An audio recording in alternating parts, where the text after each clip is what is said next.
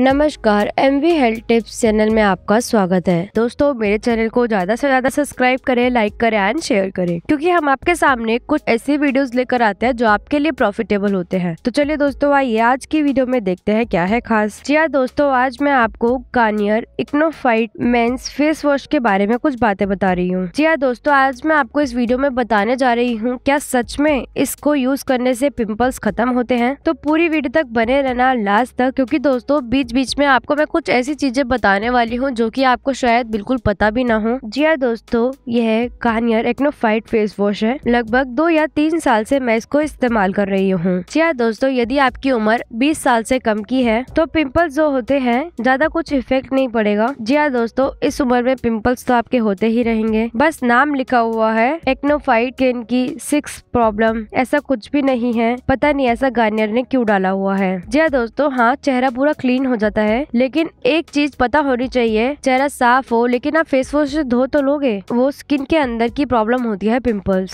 skin के अंदर की आपकी कुछ प्रॉब्लम है इसलिए दोस्तों पिंपल्स होते हैं ना कि आप पूरा डायरेक्टली इससे धोगे तो आपके पिम्पल्स हट जाएंगे ऐसा कुछ भी नहीं है जी हाँ दोस्तों ये फेस वॉश बहुत अच्छा है यदि आप अपने फेस को पूरा क्लीन करना चाहते हो तो इस फेस वॉश का इस्तेमाल जरूर कीजिए चाहे हाँ दोस्तों आज की वीडियो में बस इतना ही लौटेंगे एक नए वीडियो एक नए टिप्स के साथ मेरे चैनल को लाइक सब्सक्राइब शेयर करना ना भूले और मेरे इस वीडियो को लाइक ज़रूर करें क्योंकि हमें कुछ ऐसे ही और वीडियोज़ बनाने की प्रेरणा मिलती है